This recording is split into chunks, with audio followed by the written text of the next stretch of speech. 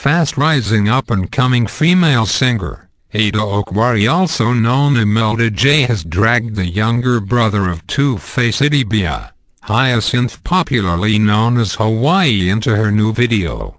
The 2010 Lead Times African Award winner recently unveiled her new video of one of her singles, Fosoke, featured Hawaii in it.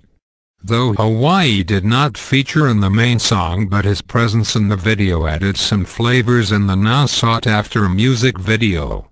The video is already gaining favorable airplays on both terrestrial and cable TV stations.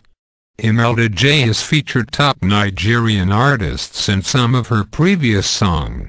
Among them were Mike Okri, Ajbi Is Real, Side 1, among others.